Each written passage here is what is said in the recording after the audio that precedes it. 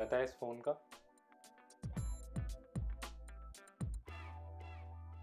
सो box की seals cut करते हैं एंड ओपन करके देखते हैं।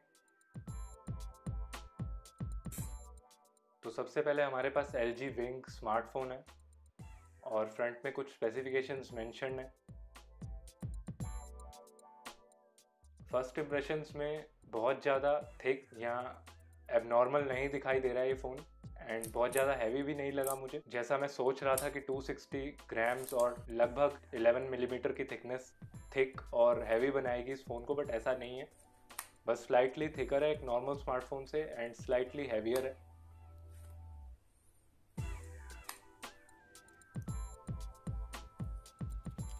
फ़ोन के बाद बॉक्स में हमें एक बैक कवर मिलेगा। जिसको कुछ ही देर में देखते हैं। उससे पहले एक स्क्रीन प्रोटेक्टर है और उसके अलावा कुछ नहीं है इस बॉक्स में। And front and back mentioned है स्क्रीन प्रोटेक्टर के ऊपर। Next quick start guide warranty card और सिम इजेक्टर टूल है। नाउ बैक कवर को भी चेक कर लेते हैं। So back cover hard plastic से बना हुआ है एंड ड्यूअल टोन फिनिश है।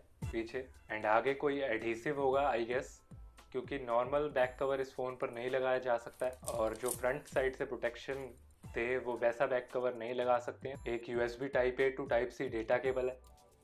एंड एक type C to three point five M M converter है। क्योंकि एल जी विंग बहुत टाइम के बाद, एक एल जी का ऐसा स्मार्टफ़ोन है जिसमें क्वाड डेक या three point five M M jack ही नहीं है। सो so इसलिए कन्वर्टर मिलेगा बॉक्स के अंदर। And one of my favourite features L G phones का definitely hi fi quad DAC था। सो so, वो मैं सबसे ज़्यादा मिस करने वाला हूँ जब एल जी फ़ोन्स नहीं आएँगे।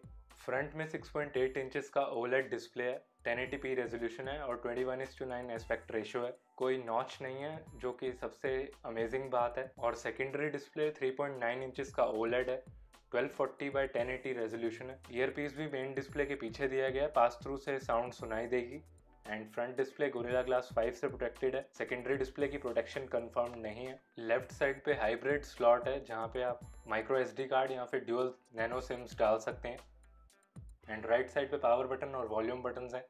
नीचे main microphone type C port और मेन स्पीकर ग्रिल है। Actually single bottom firing speaker मिलेगा इस फ़ोन में। टॉप पे सेकेंडरी नॉइस कैंसिलेशन माइक्रोफोन और पॉपअप सेल्फी कैमरा है 32 मेगापिक्सल्स का।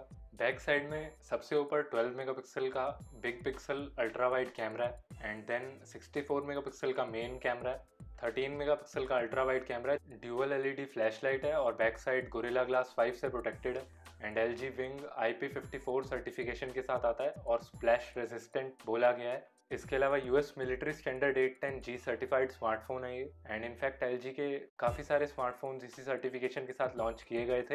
And L G G seven के मेरे यूजेज के दौरान काफ़ी सारे माइनर और मेजर ड्रॉप्स इजीली झेले उस फ़ोन ने। एल जी विंग भी बिल्ड वाइज काफ़ी सॉलिड लगा मुझे, लेकिन क्योंकि इसमें पॉपअप कैमरा और स्विबलिंग स्क्रीन प्रेजेंट है साथ में थोड़ा हैवी फ़ोन भी है, इस वजह से केयरफुल रहना पड़ सकता है इस फ़ोन के साथ। जहाँ तक यूआई की बात है तो एलजी का U I Samsung One UI के काफ़ी सिमिलर है एंड फीचर्स वाइज अच्छा है। लुक्स हो सकता है सभी को पसंद नहीं आए। बाकी कस्टम लॉन्चर यूज़ किया जा सकता है मेन स्क्रीन पर एंड सेकेंडरी स्क्रीन पर नॉर्मल लॉन्चर ही रहेगा।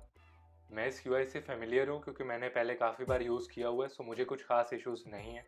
फिंगरप्रिंट स्कैनर मुझे ओवरऑल डिसेंट लगा।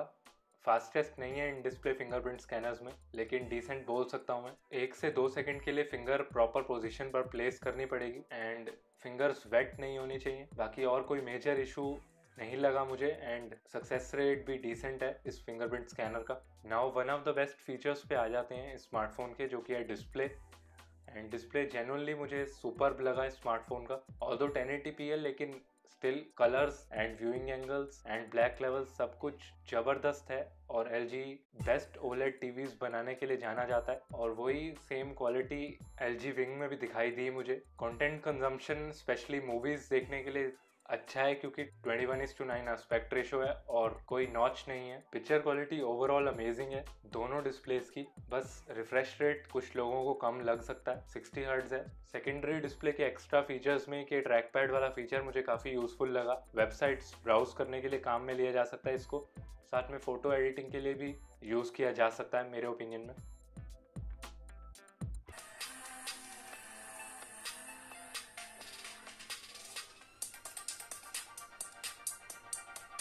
एल के प्रीवियस कुछ फोन्स में हाई फाई क्वाड डेक और ड्यूअल स्टीरियो स्पीकर्स जैसे फीचर्स दिए गए थे, लेकिन विंग में शायद ऐसा पॉसिबल नहीं था। साउंड क्वालिटी एवरेज लगी मुझे। और अगर आप स्विवल मोड में वीडियोस देख रहे हो तो साउंड ठीक ठाक सुनाई दे जाती है। अदरवाइज़ स्पीकर एवरेज है। At best quality mid range phones के सिंगल बॉटम फायरिंग स्पीकर जैसी ही है। नाउ परफॉर्मेंस की जहाँ तक बात है तो normal day to day usage में परफॉर्मेंस अच्छी है। एट जी रैम है और मल्टीटास्किंग से रिलेटेड भी कोई खास इश्यूज़ नहीं हुए मुझे। एंड जहाँ तक गेमिंग की बात है तो गेमिंग मैक्सिमम सेटिंग्स पर नहीं की जा सकती है, लेकिन मोस्टली गेम्स को हाई सेटिंग्स पर खेला जा सकता है एंड परफॉर्मेंस में कोई इशू नहीं होता है। साथ में जो गेम्स ड्यूअल डिस्प्ले सपोर्ट करती हैं, उनमें डायरेक्टली आप डिस्प्ले ओपन करके एक्स्ट्रा फीचर्स एंजॉय कर सकते हैं, लेकिन जो गेम्स सपोर्ट नहीं करती हैं, उनमें ड्यूअल डिस्प्ले ओपन करने पर भी नॉर्मल स्क्रीन ही दिखेगी।